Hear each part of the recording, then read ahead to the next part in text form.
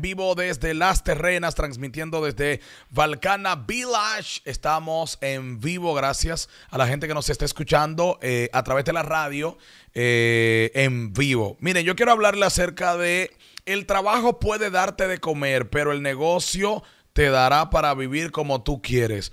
Hay personas que la vida le ha dado el privilegio de comer y vivir de trabajo, de un trabajo que le guste.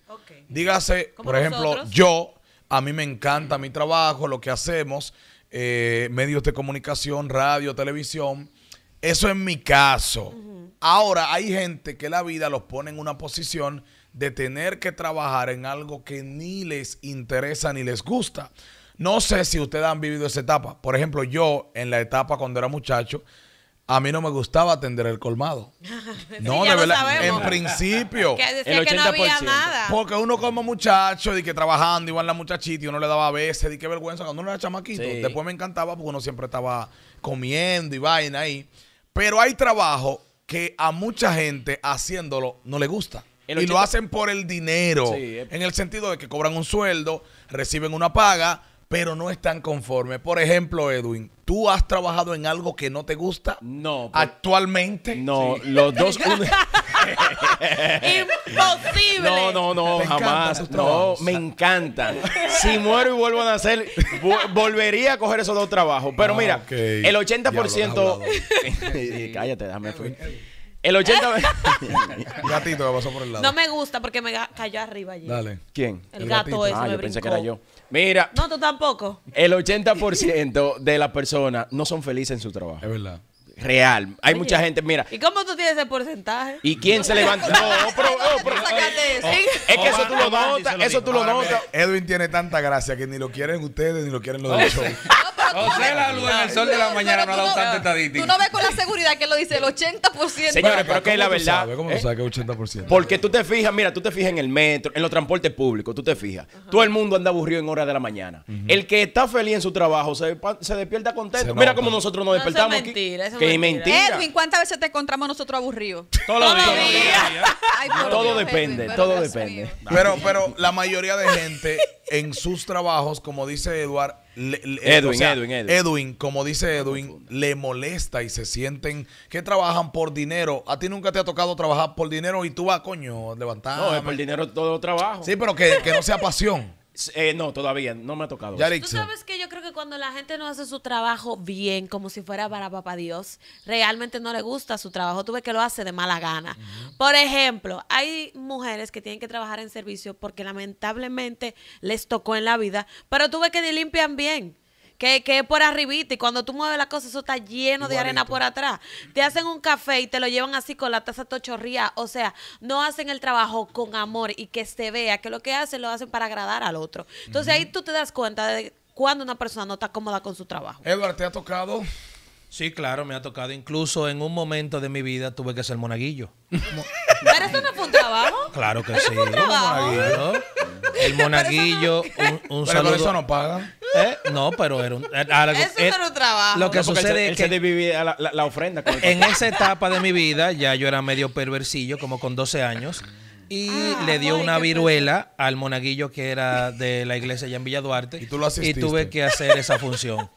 Entonces, algunas madres, ¿verdad? Y vecinos le reclamaban al párroco, al padre más bien de esa iglesia, decían, pero ese muchachito es medio terrible, hizo esto, hizo lo otro, y mire cómo usted lo tiene aquí. Entonces el padre decía, Era pa- es para salvar el alma de él y eso no importa, él ¿Y es tú un niño estabas así bueno. gordito para esa época? No, no, jamás. Ah, Yo pesaba como, como ese traje. 86 libras realmente. Mojao. Pesaba en ese momento. Pero.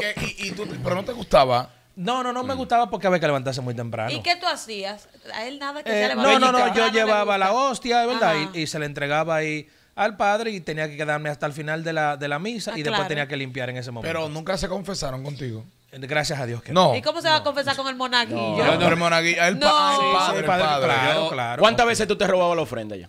Eh, no, no, no, nunca me ha gustado el hurto realmente. Mira, yo, yo una vez tenía hambre un domingo y, me, y no tenía para desayunar. Y me, met- yo muchachito y me metí a una iglesia. Ajá, Que daban, igual. no, que daban di que la hostia, porque yo ya dije que iban a dar di que el pan en la No, pero no te lo puedo creer. Pero tú sabes que fue lo lindo, lo dieron como a las 11 de la mañana. Y yo Tú te- y tú te llevabas Pero- tu mantequilla para echarle a la hostia. Tú sabes No, que... porque yo, digo, yo- Mire, no relajes con eso, que ahorita lo ataca. ¿Qué sabía yo? Yo nunca había ido a la iglesia. Que yo no yo creo que hay algo y es que hay personas que le molesta su trabajo porque a lo mejor no tienen la capacidad de hacer otra cosa y se molestan por eso. Ahora bien, al que le molesta su trabajo, yo le voy a decir lo siguiente. Hay algo peor que trabajar. ¿El Que qué? es no trabajar. No trabajar. No trabajar. Bueno, definitivamente. en Yo mi- he visto cosas que se quejen más.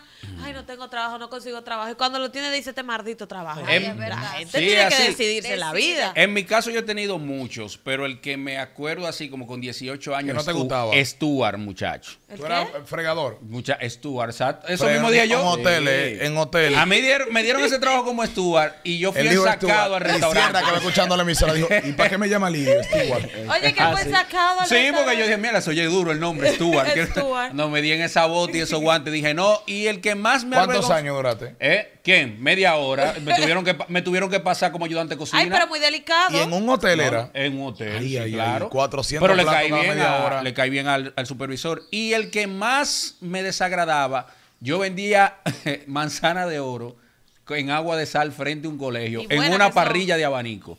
Eso, mira, un desastre. Y le tuve que hacer tres años esa vuelta. Wow. El retorno, bájalo un Tres años, no bobo. ¿Y tú, y, y- y tú con eso era que sobrevivías? ¿Cuánto tú No, no, no, no, gracias a Dios. Era, no, no, era- es que no era por necesidad eso, por eso era que me quillaba. Ah. Era por cultura de que mi abuelo quería que tú tuvieras, si tú no estabas en un taller, usted estaba limpiando zapatos, si no era trabajando en tal sitio y me, Si prácticamente no, mantenía si no, eso. atracando. No. Sí, tú, un Ana un Karina. trabajo también. Ana Karina le ha tocado trabajar en algo que, o sea, no era de tu gusto, pero lo hacías por dinero. Ahora mismo. Ay, mi madre. ¿Cómo A las así? 7 de la mañana. A las No, pero vamos a ver cuál, cuál de todo. No, vamos a ver porque tiene varios. exactamente, claro. ver. No, este me gusta, este me apasiona. Ah, Ahora ¿el de eh, OnlyFans? el OnlyFans no me apasiona. ¿Qué? No me apasiona. No pero me- suelta eso. No. Ella que me enseñó la cuenta ayer ahí escucha, sentado y no lo suelto. No es que no me gusta, no me apasiona, Oh. pero lo hago bien. Pero cuando yo veo entonces la cuenta, yo digo, ok, está bien. Pero de verdad, de verdad, tú lo haces sin, sin gustarte y disfrutarlo. no me apasiona. Tampoco es que no me gusta, pero no es algo como que "Ah, amo mi trabajo. Oh. Pero embargo, lo que cuando veo el dinero, entonces digo, ok. A lo que lo consumen le apasiona. Le gusta. Ah, eso sí. A, No, Daniel, porque- a que- Daniel le encanta. Antes de también. esto, antes de esto, Ana Karina era vaga. Ana Karina. El día entero en su casa. No yo, yo siempre he trabajado desde antes de ser mayor de edad. Siempre. Yo era payasita. Oye, Ay, mi- mira, yo era payaso también. Yo era payaso. Yo- ¿y tú- Sí. Hazme ese cuento. Yo era- ¿Y yo tú, era pinta- payaso. tú pintabas carita? No, yo me, a mí me pintaba. eh, Hola, niños. Y yo hablaba así. Ti no había que ponerte nariz porque Exacto, tienes. decir. Yo era un niño, la nariz estaba más pequeña. Ah, perdón. Pero yo, me, yo, me- yo hice como tres cumpleaños. Ah, mira, yo eh, te- andaba a veces con un amigo para los pueblos que él era visitadora médico en la mañana y era stripper en las noches.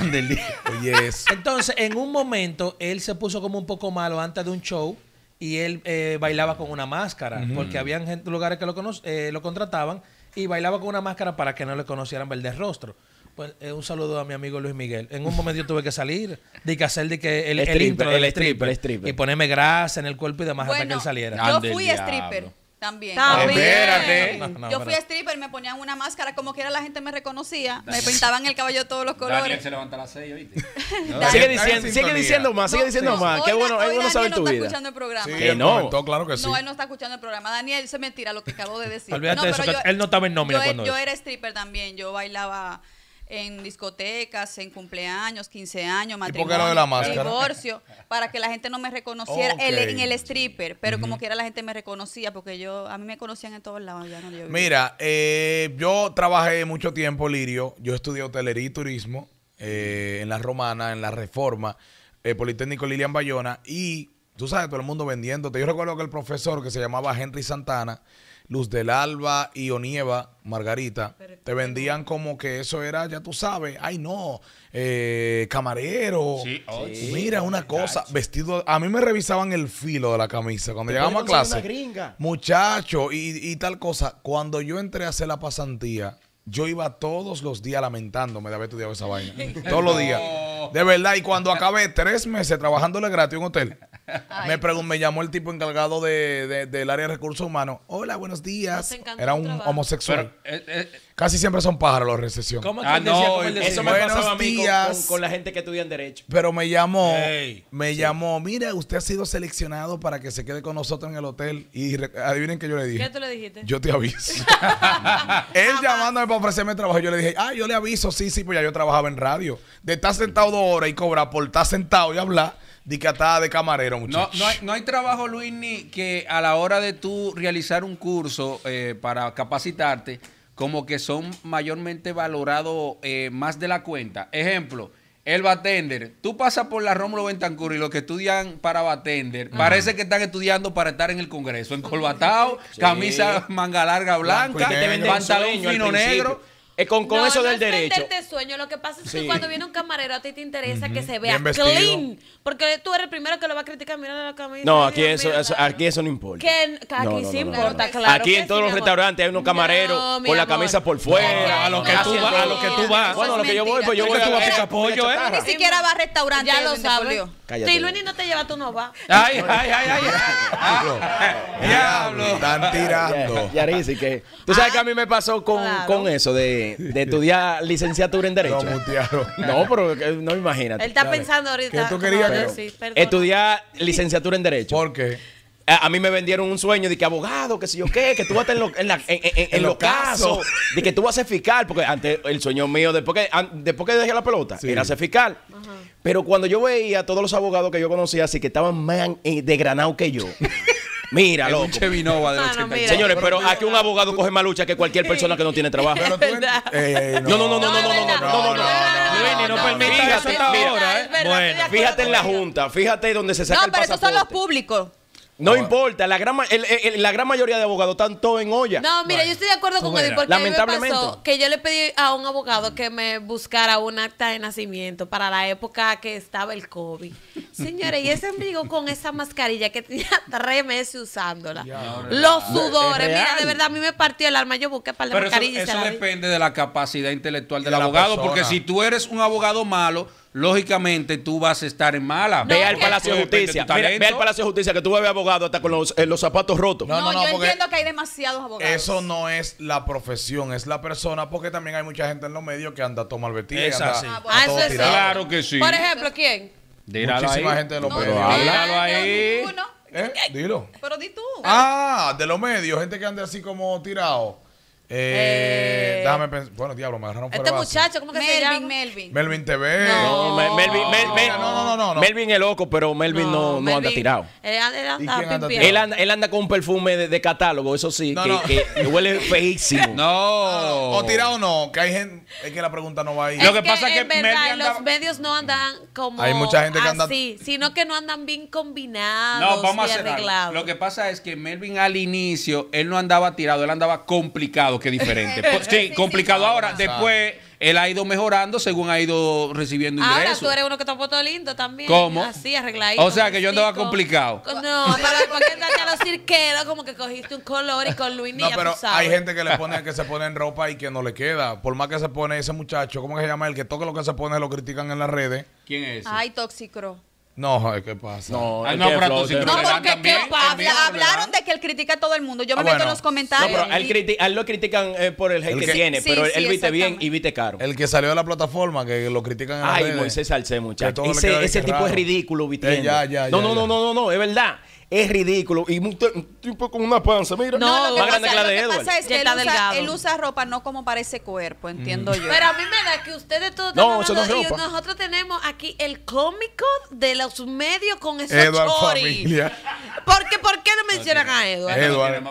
Mío, una galleta con porque, brazos. no, porque recuerda Pero que- miren algo. Mira miren cómo está algo. con esa bata, no miren algo. Todo el mundo, todo el mundo se vistió y el único que se puso la pijama que se levantó fue Eduard. Pero Edward tiene actitud. Sí. Ah, Y sí. personalidad. Y le queda bien, le queda, le queda bien. Exactamente. Pero Sí, se la- puso el reloj y no una ropa. Dime, Eduard.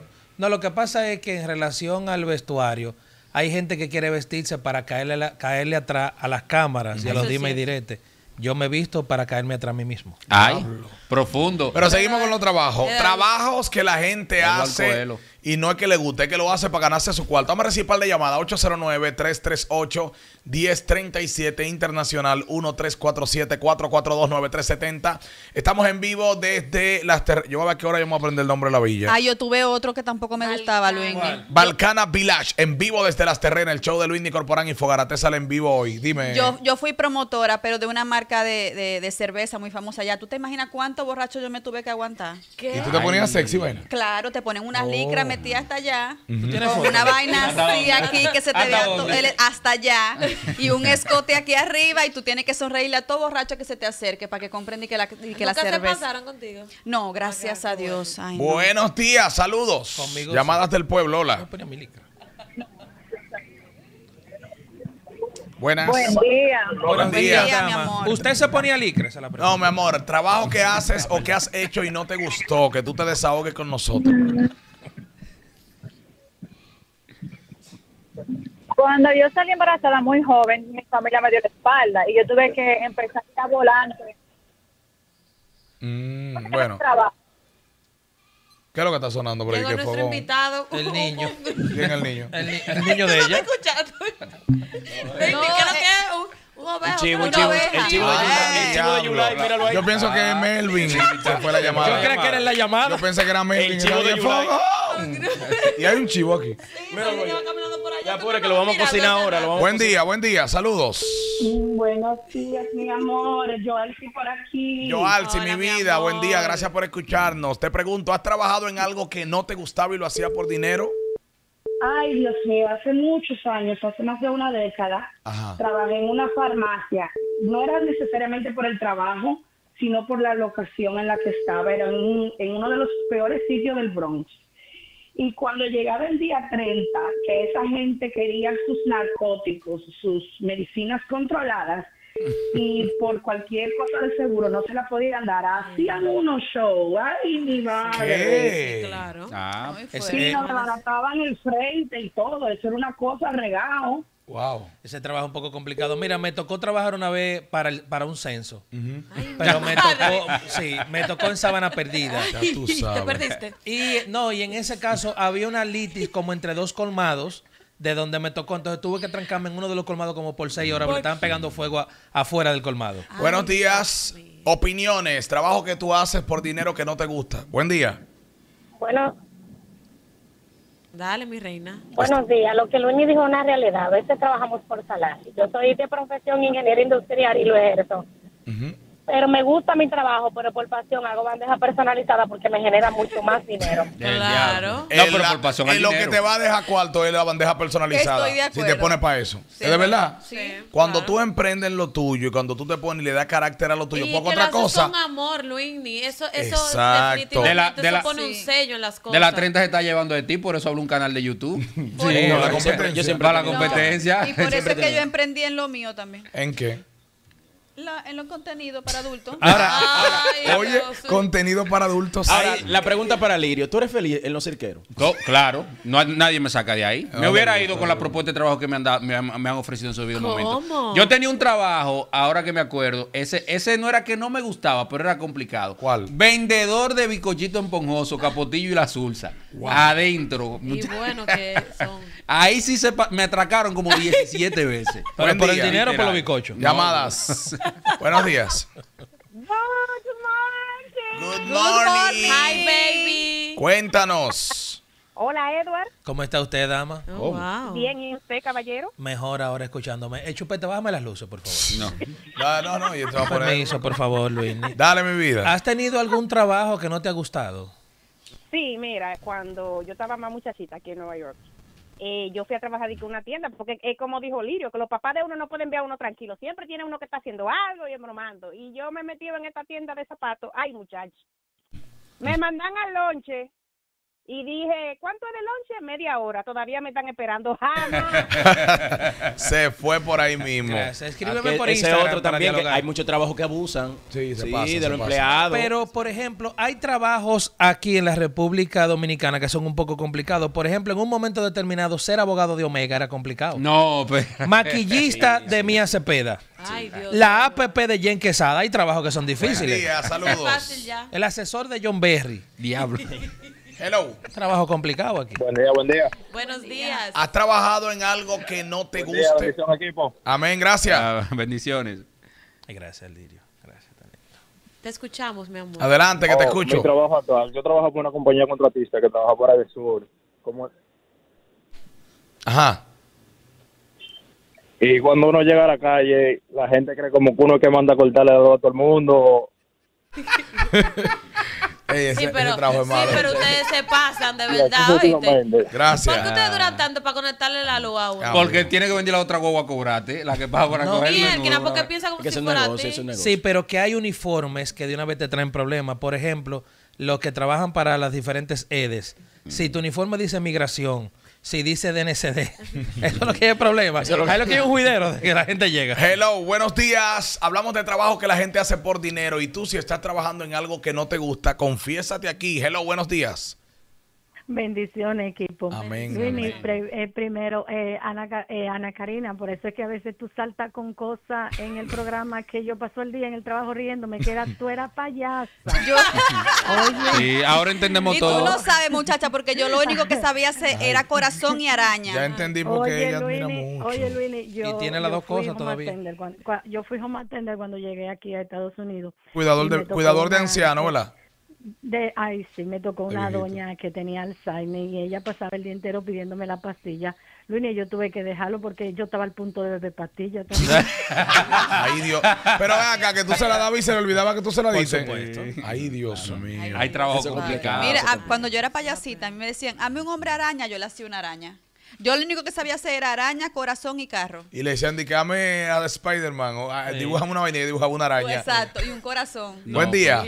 Ay, sí, Hola. Qué vergüenza. Buen día. Hello, buen día. Dígamelo, día. ¿quién y desde Buen dónde? día. Buenos días. ¿Qué tal? Bien, mi amor. Bendiciones.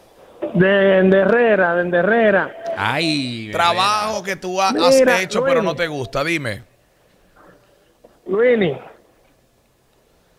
Mira, a mí me contrataron, un tío mío, yo salí de la escuela, ¿verdad? Terminé el bachiller y tenía como 18 años. Ajá. Él trabajaba en una compañía de almacenes y a mí me contrataron para almacén. Y ahí andaba yo, fregando, sirviéndole café a la doña, suapeando. En un día ligué de calín con cloro en el baño, que por poco me muero. Ay, mi madre, No, ya tú burlado. Lo sabes. contrataron de esposa fea. La gente de Herrera. Sí, no, en unos trabajos. Saludos a mi gente del abanico allá.